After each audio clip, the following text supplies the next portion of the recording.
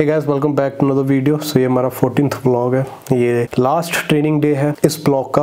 And पिछली तीन videos में मैं ऐसे वॉइस ओवर कर रहा हूँ and you know during training नहीं बात कर रहा। उसका रीज़न ये है बिकॉज़ ये मेरा वीक था जहाँ मैंने हर लिफ्ट पे मैक्स आउट करना था। सो so, मैं जब लिफ्ट पे मैक्स आउट करने वाला हूँ सो so, मैं यू you नो know, पूरा जोन में आना चाहता हूँ एंड तब मेरा बोलने को मन नहीं करता। सो so, इस कारण मैंने ड्यूरिंग ट्रेनिंग भी बात नहीं की। मैं पूरा फोकस था एंड मैं अपना हंड्रेड परसेंट देना चाहता था ताकि मैं पीआर हिट कर सकूँ। एंड दो लिफ्ट पे तो हमने पीआर हिट कर लिया अगर आपने पिछली वीडियोज़ देखी हैं। सो so, आज डेड लिफ्ट का प्राइमरी डे था। सो so, यहाँ पे मैं दो सौ दो के जी लगा लगा रहा हूँ। मेरा लास्ट बिल्डअप सेट था। एंड इसके बाद मैंने अपना पी आर अटैम्प्ट करना था 215 केजी। लास्ट मेरा पी आर 210 केजी था। एंड जैसे कि आप देख सकते हो मैंने ये पी आर हिट कर लिया।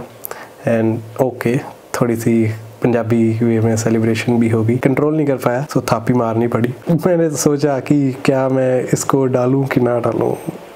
इंस्टाग्राम पे भी मैंने हाँ ये पीआर की वीडियो डाली है।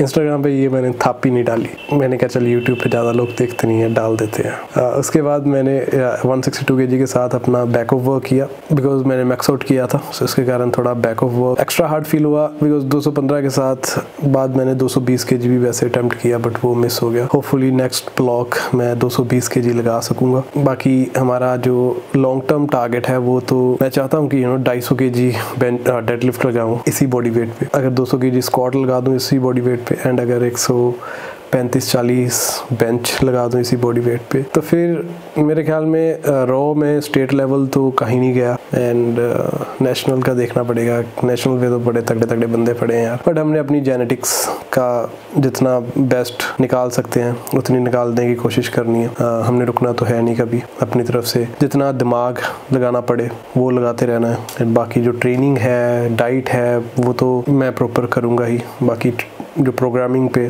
जितना दिमाग लगाना पड़े, वो लगाऊँगा, सीखता रहूँगा एंड अपने आप को प्रोग्रेस होपफुली करवाता रहूँगा एंड देन होपफुली हम जो मैंने भी आपको टारगेट्स बताए, उन पे पहुँच जाऊँगा।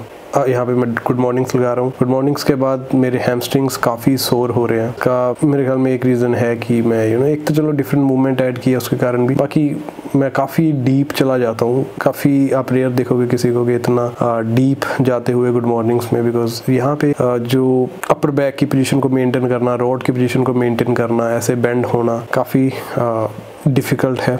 लगाने में भी काफ़ी डिफ़िकल्ट लगता है। अगर मैं ये करूँ कहूँ कि मसल्स पे कितना ज़ोर आ रहा है वो तो प्रॉपर मुझे फील हो रहा है। एंड इनको मैं पुश भी कर पा रहा हूँ। ये नहीं कि डिफ़िकल्टी होने के कारण या थोड़ी सी जैसे अनस्टेबल मूवमेंट है उसके होने के कारण मैं मसल्स को फटीक नहीं कर पा रहा वैसा नहीं है। मैं जब सेट को फिनिश कर रहा हूँ तब मेरे मसल्स प्रॉपरली फिटीक हो रहे हैं। तभी मैं सेट को फिनिश कर रहा हूँ। सो so, इसके बाद I did some pull ups then उसके बाद लैट प्रेयर की मैंने लैट्स के लिए। जब मेरी बॉडी फैट जिस लेवल पे अब हूँ मैं यहाँ पे आ जाती है ना जैसे आप देख सकते हो बैक में बड़े कट वगैरह दिख रहे हैं। मसल्स काफ़ी विजिबल हो जाते हैं बट इससे अगर मैं थोड़ी सी बॉडी फैट ज़्यादा पे हूँ ना तो मेरी बैक इतनी अच्छी नहीं लगती। एक तो चलो मेरे लव हैंडल्स है वहाँ से तो लेट फैट जाती है उसके बाद हाँ, मेरी बैक से लेट फैट जाती है। बट अभी मैं जितना को लीन हूँ यहाँ पे मेरी बैक काफ़ी फैट लूज कर चुकी है ताकि सो इस कारण जो मस्कुलर विजिबिलिटी है वो काफ़ी ज़्यादा है।